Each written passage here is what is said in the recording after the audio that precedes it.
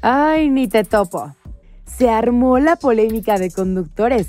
Recientemente, el comediante El Capi Pérez señaló a la conductora Rocío Sánchez Azuara de haberle echado encima a los jefes de TV Azteca por un desacuerdo que tuvieron.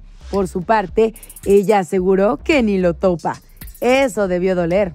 El conductor de Venga la Alegría acudió a un podcast en el que dio a conocer que Azuara lo acusó por hacer una parodia de ella y a partir de ese momento decidió no volver a mencionarla en sus parodias.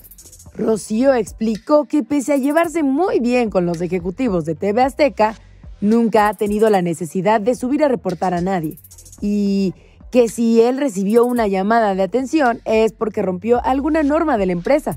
Seguramente no esperaba que Rocío saliera a hablar del tema. ¿Tú qué opinas?